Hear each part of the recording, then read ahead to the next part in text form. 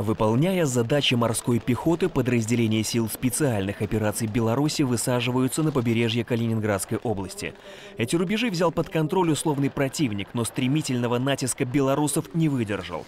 В это же время, но в Гродненской области россияне содействуют в уничтожении группировки террористов. Это учение «Запад-2013» было самым масштабным в истории белорусско-российского военного сотрудничества. Авиация, бронетехника, артиллерия, новейшие образцы. Две армии, два главнокомандующих командующих и одна задача – защита своих границ и ликвидация общего противника. Региональная группировка войск создавалась на случай военной агрессии, направленной на Беларусь или Россию с западной стороны. И хотя наша страна состоит в нескольких интеграционных объединениях постсоветского пространства, по убеждению президента, в военно-политическом отношении альтернативы союзной группировки пока нет. Таких крупных три интеграционных объединения у нас действуют. Во-первых, в рамках Содружества независимых государств СНГ. А, во-вторых, это Евразийский экономический союз. И в-третьих, это а, проект союзного государства. Это наш с россиянами проект. Я имею здесь ну, близко к этому и ОДКБ, как военно-политическая организация. Что касается СНГ, к сожалению, это объединение превратилось некую политическую площадку для обсуждения тех или иных вопросов, для информирования друг друга, двусторонних встреч, переговоров и так далее и тому подобное. Что касается Евразийского экономического союза, это чисто экономическое образование, этим мы и подчеркивали, название само говорит о том, это экономическое образование, в котором мы играем одну из существенных ролей, и э, нас может не удовлетворять пока глубина сотрудничества э, в этом союзе, но будем работать в этом направлении, чтобы толк от этого был больше. Э, что касается Союза Беларуси и России, это наиболее продвинутое интеграционное образование двух государств. Это образование военно-политическое, экономическое, здесь и человеческое измерение, если можно так сказать. Если бы Россия была более активнее здесь, то это образование могло бы быть вообще локомотивом на постсоветском пространстве. Что касается нашего сегодняшнего вопроса, э, речь идет о военно-политической составляющей. Нынешний год завершает предыдущий план строительства и применения региональной белорусско-российской группировки войск. Ярким итогом стало учение «Щит Союза-2015». Союзники использовали системы реактивного залпового огня, авиацию, танки, беспилотные летательные аппараты, боевых роботов и системы радиоэлектронной борьбы. Новейшее вооружение, как и стратегия, должны соответствовать быстро меняющейся обстановке. Поэтому на ближайшие пять лет разработан новый план применения региональной группировки. Утверждению он подлежит на заседании Высшего Государственного Совета Союза Беларуси и России. Там, где председателем является президент Беларуси. Поэтому это будет один из центральных вопросов, которые мы будем обсуждать, плановый вопрос. Но тем не менее, я хочу, чтобы вы мне доложили, Э, наши интересы, наши подходы в этом плане, организации, строительства и применения региональной группировки войск, э, основой которой является белорусская армия.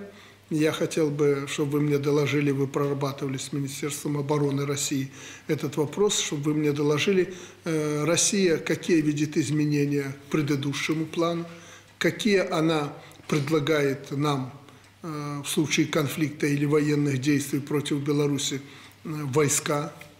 Э, раньше это были войска равнозначные белорусской армии, это очень большие войска со стороны Российской Федерации, почти. Сейчас еще мощнее. Если это будет мощнее, то какая, какая тогда будет группировка, что они предлагают? Вот примерно тот вопрос, который мы сегодня должны обсудить э, в контексте вообще взаимоотношений на постсоветском пространстве и развития ситуации в сопредельных государствах. Я не хочу ее характеризовать. Всем известно, что на Украине творится. Э, я не хочу тут сказать, что Украина э, тут для нас угроза. Нет, просто там ситуация сложилась так, что нам приходится это учитывать, и тот поток нелегалов и оружия и прочего – прочей заразы, которая может и происходит с этой страны, мы с этим не можем не считаться. Что происходит на западных рубежах нашей э, Беларуси, мы тоже знаем. Там идет усиление э, группировки Североатлантического альянса НАТО, эти штабы, усиление э, военно-воздушной составляющей, да и наземной. Мы тоже это знаем. Мы знаем о расширении системы ПРО Соединенных Штатов Америки на Западе. Э, мы знаем также о неких замыслах по ядерному оружию, я хотел бы услышать информацию. И всему этому нам, все это нам придется учитывать. Интересы Беларуси в новом плане учтены. Главнокомандующий его одобрил. При разработке этого плана проведена э, серьезная титаническая работа генеральными штабами в первую очередь. В максимальной степени учли все те изменения обстановки, которые произошли за пять лет по нашей инициативе. Эта группировка, часть вооруженных сил Российской Федерации, она значительно увеличена по своему э, количественному, качественному состоянию, составу вот, и позволяет в большем объеме выполнять задачи обороны союзного государства. На союзников надейся, но сам не плашай. Армия Беларуси, по оценкам западных экспертов, одна из самых боеспособных на континенте. Конечно, в одиночку белорусские военные не смогут полностью разгромить армии так называемых сверхдержав или военных блоков, но любому потенциальному захватчику гарантированы колоссальные потери, что, собственно, и является тем самым фактом сдерживания. Беларусь – мирная страна. Она не претендует на сопредельные территории, но защищать свою землю готовится двигаться активно и настойчиво. О внимании к обороне можно судить по последним рабочим поездкам президента. Например, 120-я механизированная бригада в одна из надежных опор в защите страны. Три механизированных батальона в считанные часы могут быть переброшены в любую точку Беларуси. По тому же принципу учатся воевать силы немедленного реагирования. Мобильные, хорошо укомплектованные бригады готовы фактически молниеносно реагировать на вторжение. Это сверхуспешное испытание собственной реактивной системы залпового огня, полностью изготовленной руками белорусских специалистов. Полонез с помощью восьми ракет наносит сокрушительный удар на расстоянии более 200 километров.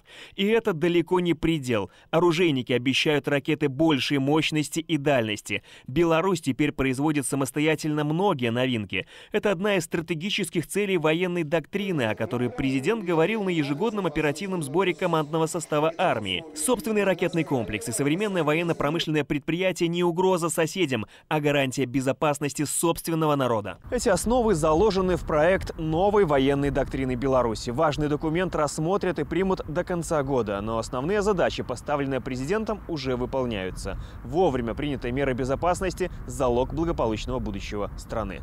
Дмитрий Семченко, Дмитрий Лац, наши новости, ОНТ.